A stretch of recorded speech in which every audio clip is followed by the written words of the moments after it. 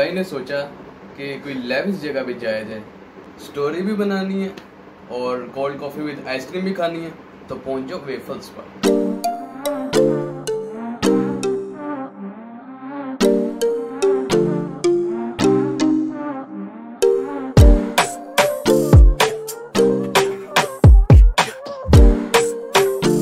की signature cold coffee with ice cream try की।